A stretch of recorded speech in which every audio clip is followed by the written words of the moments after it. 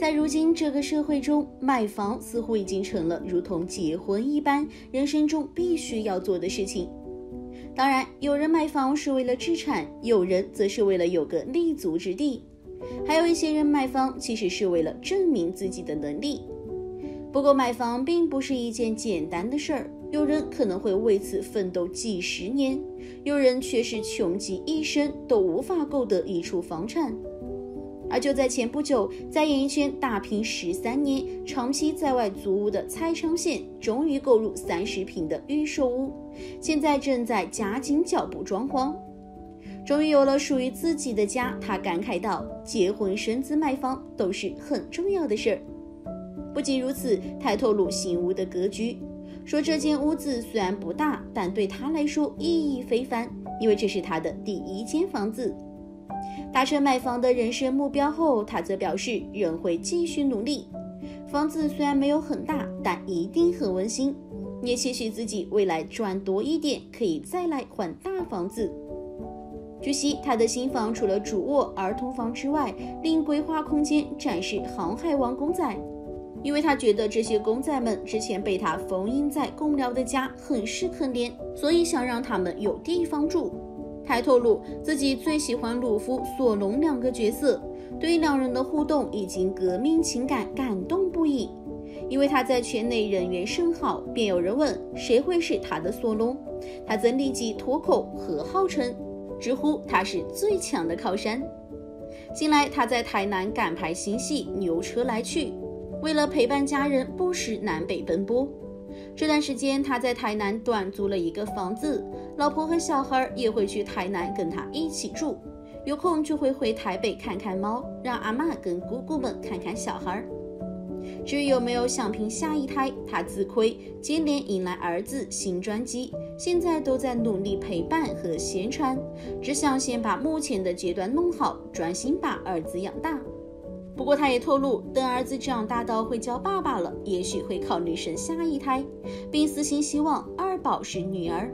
随后又幽默表示，儿子也不错，女儿是首选，但还是健康最要紧，没必要选来选去。而之所以没着急要二胎，也跟他妻子的健康状况有关。据媒体报道，他的妻子是美貌出众的空姐薇薇安，婚前两人交往八年，感情十分稳定。直到二零一八年，认定彼此的他们才终于签字结婚，成为了一对真正的夫妻。其实蔡昌宪夫妇很喜欢小孩，婚后也努力备孕，然而妻子的肚皮始终没有动静，无奈之下，他们只能采取人工干预的方法。后来薇薇安成功怀孕，可没想到的是，怀孕五个月的时候，医生竟发现腹中胎儿有先天基因缺陷。最终，她只能忍痛引产。面对第一个孩子在腹中夭折，夫妻俩伤心不已。在很长一段时间里，他们都过得相当煎熬。最终，他们经历过三次试管失败后，决定以平常心对待。后来，终于如愿怀上了小菜包，但两个人其实并不开心，很怕很怕宝宝会不健康，再经历上一次需要引产的痛苦。蔡昌宪也细心地陪伴妻子的每一次产检，直到后来诊所打电话告知宝宝所有报告都正常，两个人才拥抱在一起，喜极而泣。好运降临后，他们顺利诞下了儿子。当时蔡昌宪还激动地晒出两张照片，文中难掩兴奋之情，也非常心疼老婆。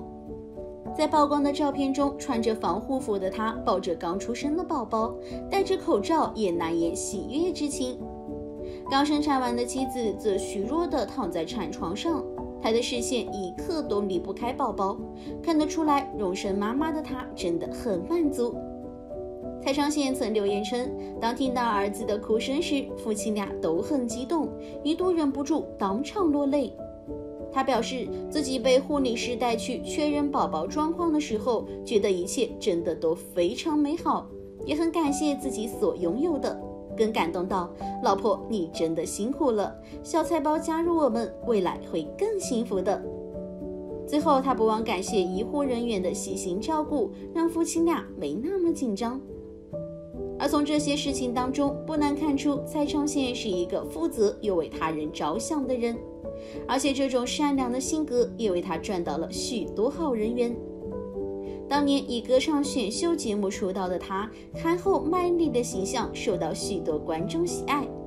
后来也顺利在戏剧主持界得到不错的发展，演艺之路备受看好。最难能可贵的是，事业表现亮眼的他，还是个懂得感恩、有孝顺的好孩子。不仅将今日的成就归功于亲人的支持与贵人的相助，在拼事业的过程中，也尽己所能的帮助爸爸。父子俩的好感情让人动容。他曾坦言，自己的心运真的很不错。因为当年出道后，原本对未来的发展有些茫然，没想到居然在机缘巧合下得到演出《蒙甲》的机会，知名度也随之水涨船高。提起当时的情况，他不禁笑说：“当初确定要演出时，兴奋到直接打给老爸说：‘爸，我要拍电影了，就像你常常看的什么龙翔电影台，以后就有我了。’”不仅如此，他也分享了自己这些年在主持界打拼的经历。当年从外景主持人做起的他，可说是每天上山下海，既考验体力，也考验毅力。不过，外景节目虽然辛苦，但咬牙挺过后，也让他练出了一身处变不惊的好本领。之后，他主持棚内的节目《超级红人榜》，才能这么得心应手。说起这段经历，他也特别感谢节目组，在当年他退伍后还愿意等他，再次给机会，让他再次拿回主持棒。然而，他也坦言，前些年拼事业的时候，不仅主持，同时还拍戏，以至于他每天都只能睡两三个小时。虽然当时他也觉得自己应该趁着还年轻，咬紧牙关冲刺。不过后来却惊觉，只有工作的生活就像是在跑步机上跑步，永远不知道什么时候该停下来，因此觉得很迷惘，没有方向。直到有一天，一个老师提醒他：“长线这样你会没有自己的生活。”于是他便决定要放慢脚步，好好陪伴家人。他表示，家里在福农从事餐饮业，爸爸曾经开过海产店、牛肉面店。而当时每天一早起来，看到爸爸一人包办切菜、腌肉以及包饺子，而那忙碌的背影总是让他心疼。奈何自己帮不上忙，上学又没时间。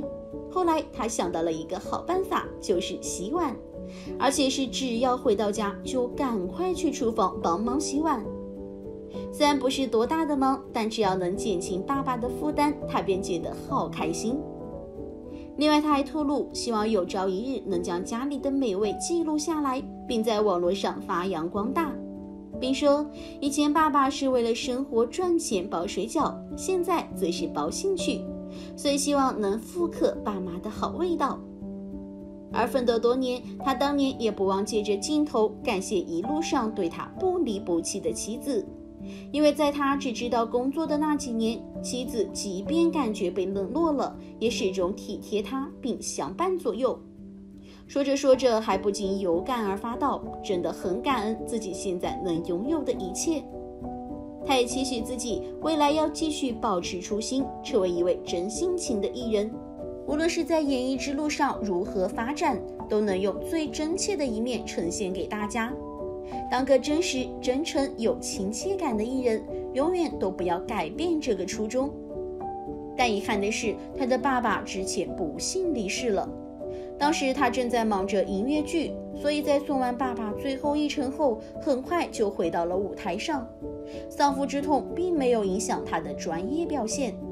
当时观众都称赞他相当敬业，很不容易。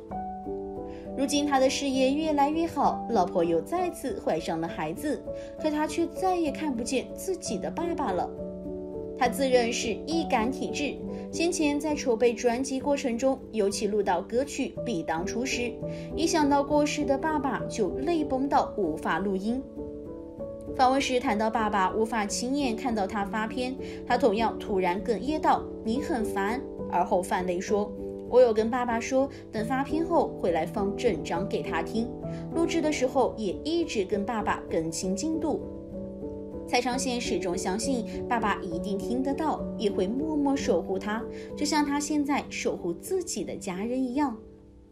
而为了让爸爸安心，他除了演艺事业做出成绩，也跨足副业，不但创立水饺品牌，还与好友一同投资健身用品及情趣用品，年营业额早已破亿。再加上他热爱运动，时常会向大家分享好用的居家健身器材。他也提到，因为疫情影响，大家不方便去健身房，所以开始在家看影片。但他在家偶尔也会拉弹力带、做滚轮及用筋膜球放松身体等项目来维持体能。此外，他之前参与全明星运动会的录制，但拍摄到后期爆发三级警戒，全面停工。不过，他认为节目暂停，运动却不能跟着停。于是跟当时的队员们一起试训健身，互相督促保持最佳体态，因为他们生怕一开工全身会松垮到不行。被问到婚姻经营之道，狮子座的他遇到牧羊座老婆的爆炸，总是先低头道歉，还觉得就算自己没错，也必须得道歉。最后也不忘夸老婆很理性，并不是无理取闹的人。他甚至打趣说，在感情里自己是 M 体质，很享受被老婆压着打的感觉，也喜欢被骂，喜欢被管。因为他认为，夫妻之间虽然会吵架，但有人低头的话，很快就海阔天空了。其实婚姻就是如此，只有互相包容，才能迎来长久的和谐。